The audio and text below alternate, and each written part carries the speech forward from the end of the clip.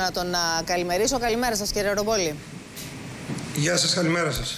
Λοιπόν, ε, τις παρατηρήσεις σας, τις επισημάνσεις σας από προχθές που έγιναν γνωστές οι πρώτες ανακοινώσεις από την πλευρά του κυρίου Παπαδήμου μέχρι και σήμερα για το σημείο που βρίσκονται οι διαπραγματεύσεις κυβέρνησης Τρόικας αλλά και για το πώς αλλάζουν όλες αυτές οι αποφάσεις που θα πάρθουν τη ζωή μας από εδώ και στο εξής. Κοιτάξτε, εάν μείνουμε στην πρώτη παρατήρηση της μείωσης του κατώτερου μισθού κατά 20% σημαίνει ότι τα 751 ευρώ που είναι σήμερα ο κατώτερος μισθός θα γίνει 582 φτάνουμε δηλαδή στα επίπεδα του κατώτερου μισθού του 2007 και από εκεί και μετά βέβαια αυτή η μείωση του κατώτερου μισθού συνεπάγεται μία απώλεια τριών μισθών το χρόνο για το 17% περίπου 325.000 άτομα που αμείβονται στην Ελλάδα αυτή τη στιγμή με το κατώτερο μισθό.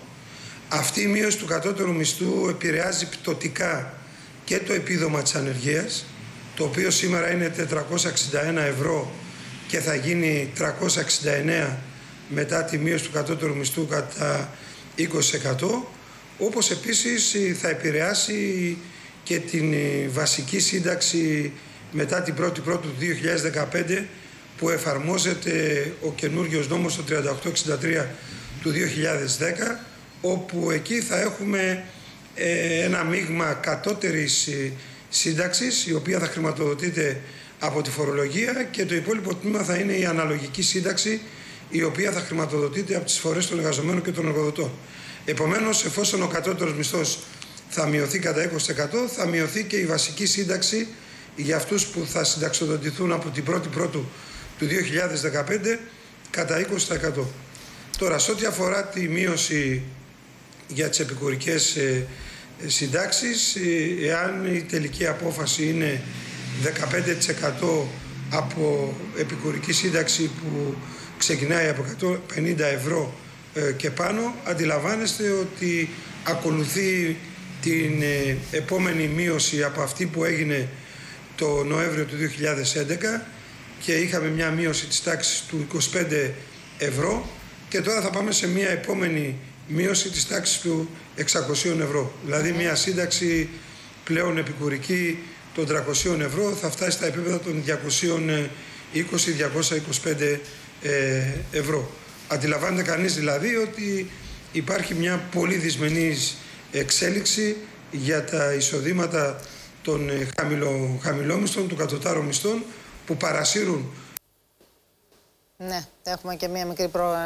Αν εφαρμοστεί και η μετενέργεια, η οποία δεν ξέρω αυτή τη στιγμή σε ποιο στάδιο βρίσκονται οι διαπραγματεύσεις, αυτή η μείωση του κατώτερου μισθού θα επηρεάσει πτωτικά και τις μειώσεις των άλλων μισθών που έχουν διαμορφωθεί σύμφωνα με τις κλαδικές Κύριε Ρομπόλη, μπορείτε να μας εξηγήσετε, παρακαλώ πολύ, τι ακριβώς είναι η μετενέργεια, πώς δηλαδή επηρεάζει τον εργαζόμενο η μετενέργεια, η αλλαγή αυτή που έρχεται. Η αρχή της μετενέργειας ε, έχει εφαρμοστεί στην Ελλάδα από το νόμο 1876 του 1990, δηλαδή από την Οικουμενική Κυβέρνηση, και σημαίνει ότι αν μια συλλογική σύμβαση ή κλαδική είτε εθνική γενική λύγει παραδείγματος χάρη στις 31 Δεκάτου του 2011 υπάρχει ένα εξάμεινο 1η Πρώτου 12 μέχρι 31 Έκτου του 12 όπου συνομιλούν τα δύο μέρη για να ανανεώσουν την σύμβαση η οποία έχει λήξει το Δεκέμβριο του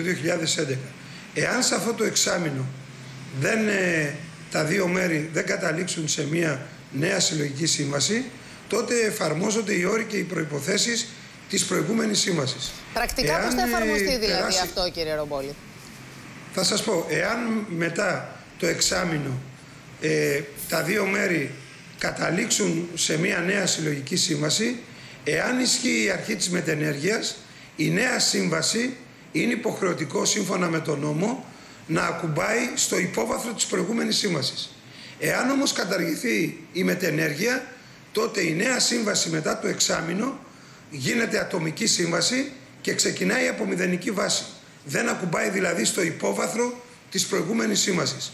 Αντιλαμβάνεστε επομένως ότι με βάση τη μετενέργεια και αυτή τη μείωση των κατωτάτων μισθών, όλο το οικοδόμημα των μισθών με βάση τις συλλογικές συμβάσεις εργασίας αποκτά μια τάση πτωτική ε, προς τα κάτω. Και είναι πλέον θέμα ατομικής διαπραγμάτευσης πόσο σε εκατό θα είναι αυτό το προς τα κάτω ανάμεσα στον ατομικό εργαζόμενο και τον ατομικό εργοδότη. Δηλαδή καταργείται η συλλογικότητα της συλλογικής σύμβασης.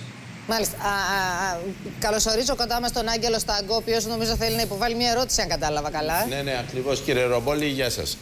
Ήθελα να ρωτήσω μεταξύ των δύο κακών, δηλαδή μεταξύ της ε, μείωσης του κατώτατου μισθού στο ποσοστό το οποίο φαίνεται ότι έχει αποφασιστεί και της κατάργησης και της κατάργησης των, ε, ε, του 13ου και του 14ου μισθού, ποιο, τι, ποιο θα ήταν προτιμότερο; Κοιτάξτε, μια απλή προσέγγιση λέει ότι με τη μείωση των κατώτατων μισθό κατά 20% χάνονται τρεις μισθοί το χρόνο, ενώ με την κατάρριξη του 13ου και του 14ου που ούτως ή άλλως θα μειωθούν από τη στιγμή που μειώνεται ο κατώτερος μισθός, χάνονται δύο μισθοί ή ενάμιση μισθός, γιατί τα δώρα και το Πάσχα από τη στιγμή που ε, βασίζονται στον υπολογισμό τους με βάση τον κατώτερο μισθό, όταν μειωθεί ο κατώτερος μισθός κατά 20% θα μειωθούν και αυτά αντίστοιχα κατά 20%. Μάλιστα. Επομένως το χειρότερο κακό είναι να, να μην μειωθεί ο κατώτερος μισθός κατά 20%. Κύριε Ρομπόλη, για ποιους θα ισχύσουν οι αλλαγές αυτές για τους νέους εισερχόμενους στην εργασία, για όλους μας και από τη στιγμή που η Εθνική Συλλογική Σύμβαση είναι σε ισχύ.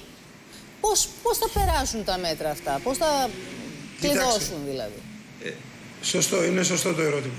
Ε, καταρχήν δεν έχει αποσαφινιστεί από τη διαπραγμάτευση μέχρι αυτή που έγινε μέχρι τις 3 το πρωί εάν ε, εννοείται ότι θα εφαρμόζονται για τους νοησερχόμενους ή και ε, για όλους. Εάν παραδείγματος χάρη εφαρμοστούν για τους νοησερχόμενους, εδώ όπως αντιλαμβάνεστε εισάγεται η αρχή της άνησης μεταχείρισης και φαντάζομαι ότι θα γίνουν διάφορες ε, προσφυγές ανάμεσα σε νέους που θα αμείβονται λιγότερο και σε παλαιούς που θα αμείβονται με το, ε, με το προηγούμενο σύστημα. Και αυτό όπως αντιλαμβάνεστε θα δημιουργήσει ε, ένα πρόβλημα Άρα το βλέπετε να εφαρμόζεται συλλογικά για όλους, έτσι. Τώρα, σε ό,τι αφορά το δεύτερο που είπατε για τη συλλογική σύμβαση, εδώ υπάρχει και ένα θέμα, θα έλεγα, δημοκρα... δημοκρατίας και αντισυνταγματικότητας, διότι η ελευθερία των συλλογικών συμβάσεων εργασίας, οι οποίες γίνονται στη συνέχεια και νόμος του κράτους, κατοχυρώνεται και από διεθνείς συμβάσεις που έχει κυρώσει το Ελληνικό Κοινοβούλιο, αλλά και από το Σύνταγμα. Επομένως εδώ παρατηρούμε μια εκτελεστική εξουσία η οποία παρεμβαίνει σε μια συλλογική σύμβαση που έχει διαμορφωθεί από τους συνομιλητές, ισχύει μέχρι τις 31 ε, και εκτός από αυτό τους δημιουργεί και αρνητικές προϋποθέσεις να ξεκινήσουν τη διαπραγμάτευση για τη σύμβαση του 2013. Δηλαδή νομίζω ότι η ΓΕΣΕ που θα κάνει μια προσφυγή όπως έχει κάνει και για τις προηγούμενες παραβιάσεις με τις εργασιακές σχέσεις στο Διεθνές Γραφείο Εργασίας και δεν ξέρω αν ξέρετε η έκθεση του Διεθνούς Γραφείου Εργασίας για όλες τις παραβιάσεις που έχουν γίνει στην Ελλάδα μέχρι σήμερα είναι καταπέλτης και εναντίον της Ελλάδας και εναντίον... είναι, αλλά τι ε, δικαίωση υπήρξε ποτέ; Σε όποιες προσφυγές έχουν γίνει, έχει έρθει κάποια αλλαγή, δηλαδή, κύριε Ρομπόλη, ποτέ; Δεν έχει έρθει κάποια αλλαγή γιατί το Διεθνές Γραφείο Εργασίας και ο Οργανισμός Ηνωμένων Εθνών δεν έχει τη δυνατότητα να σε χρηματοδοτεί, άρα να μην σου δίνει πόρους, είτε για να mm πληρώσεις το κοχρεολύσια, είτε για να κάνεις οτιδήποτε άλλο. Αλλά κάποια στιγμή, αν, αν συνεχιστεί ε, αυτή η βαρβαρότητα, θα δούμε την Ελλάδα να είναι ενταγμένη από άποψη εργασιακών και ανθρωπίνων δικαιωμάτων στη λίστα μαζί με τη Ζιμπάμπου ή την Καζαμπούμπου. Κύριε ε, Ρομπόλη, κύριε Ρομπόλη μου δίνετε καταπληκτική χώρα πάσα. να μπει σε αυτή τη λίστα των υπανάπτυκτων χωρών. Μου δίνετε καταπληκτική πάσα για να σας ρωτήσω την εναλλακτική μας λύση.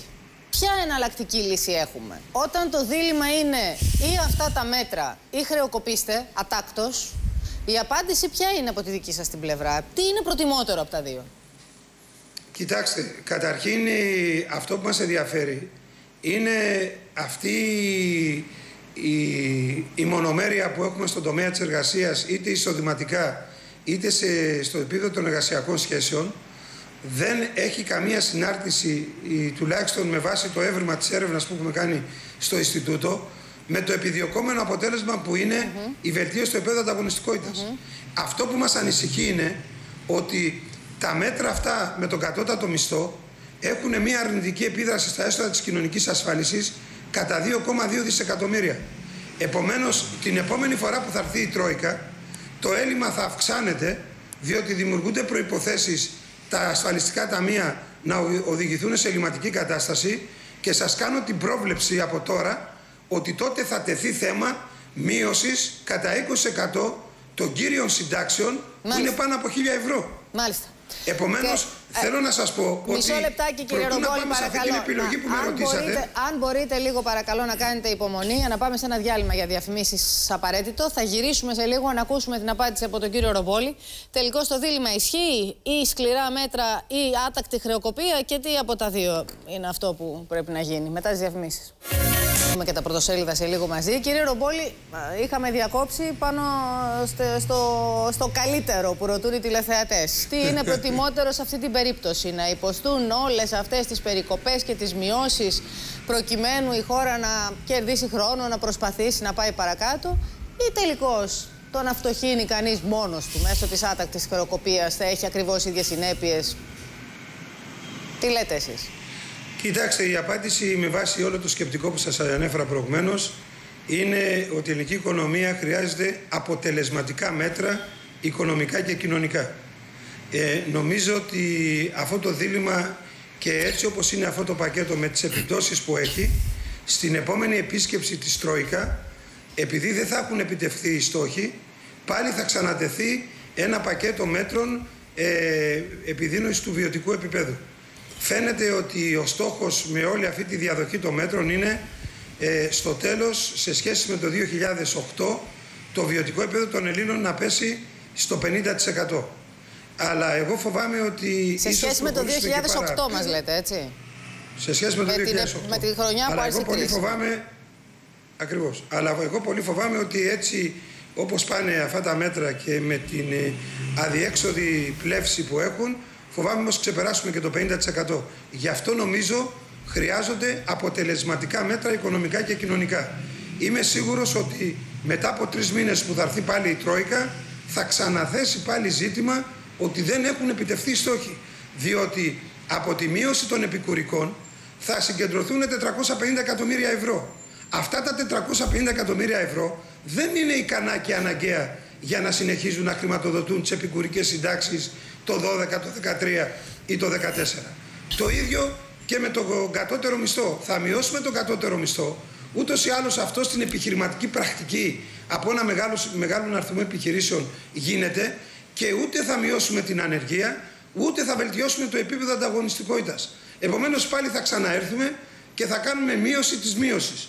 Και γι' αυτό ακριβώς επιμένω στα αποτελεσματικά μέτρα οικονομικά και κοινωνικά. Με την ανεργία, τι πρόβλεψη έχετε, κύριε Ρομπόλη, με τα σημερινά δεδομένα, με τα δεδομένα έτσι όπως διαμορφώνονται, με τα αυριανά δεδομένα κάνει, δηλαδή. Έχουμε, ναι, ναι, έχουμε κάνει την πρόβλεψη του 21%. Εάν όμως πάμε σε μείωση του κατώτερου μισθού στο μείον 20%, αυτό θα επηρεάσει την ύφεση ακόμα περισσότερο 1 με 1,5% που σημαίνει δηλαδή ακόμα περισσότερο ε, 50.000 ανέργους. Δηλαδή περίπου 1% παραπάνω η, η ανεργία. Και το 21 που έχουμε προβλέψει θα πρέπει να το αναθεωρήσουμε προς τα πάνω ε, στο 22%. Ε, Και ταυτόχρονα βέβαια η πρόβλεψη είναι ότι το 2012 θα έχουμε ένα κλείσιμο τουλάχιστον 60.000 επιχειρήσεων. Σας ευχαριστώ πολύ κύριε Ρομπόλη που ήσασταν κοντά μας. Και εγώ σας ευχαριστώ πολύ. Να είστε καλά. Καλή συνέχεια.